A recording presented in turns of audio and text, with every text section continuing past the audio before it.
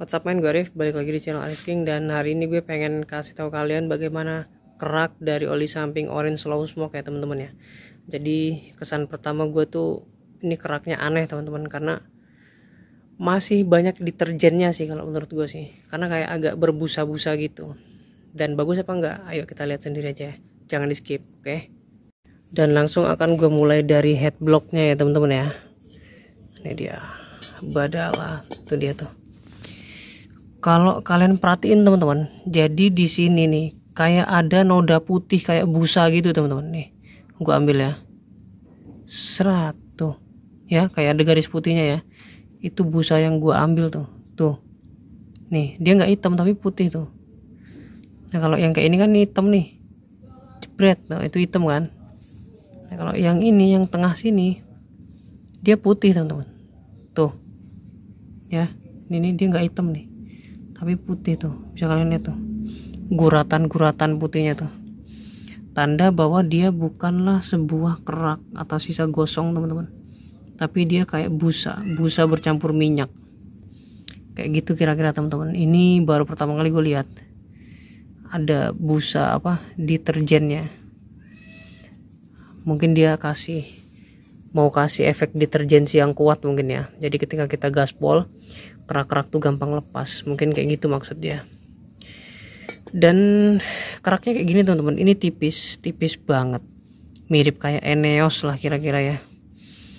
Nah itu dia tuh. Nah ini nggak ada tumpukan kerak sama sekali teman-teman. Ada sedikit kayak debu-debu pasir gitu. Nih bagian pinggir-pinggirnya. Nih.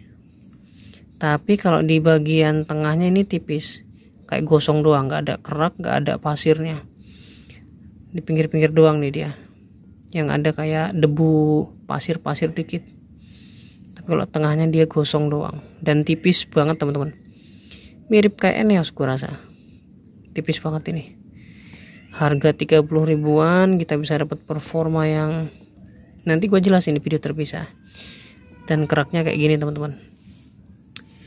Hmm kira-kira ini head blocknya ya? Ayo kita pindah ke bagian busi dan head pistonnya teman-teman.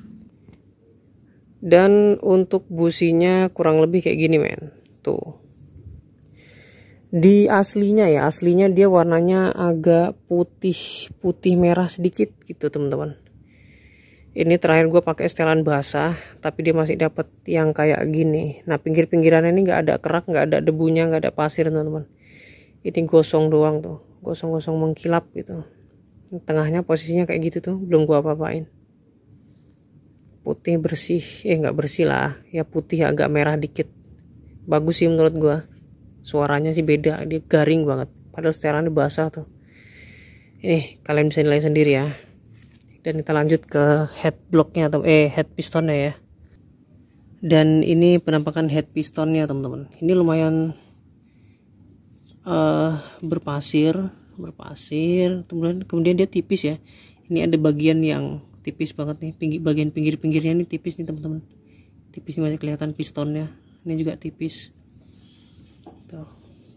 ini oli sering gua ajak gaspol ya ngomong-ngomong teman-teman.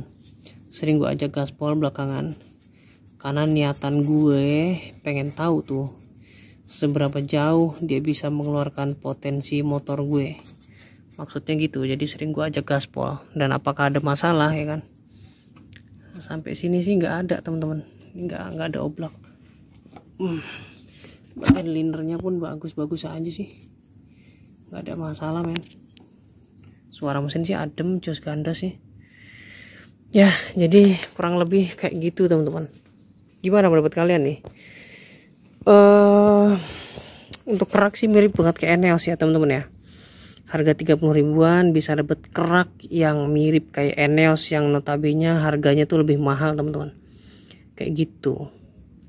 Yaudah kalian bisa nilai sendiri. Tulis pendapat kalian di kolom komentar dan kita diskusi kayak biasanya. Thanks for watching dan sampai jumpa di video gua selanjutnya teman-teman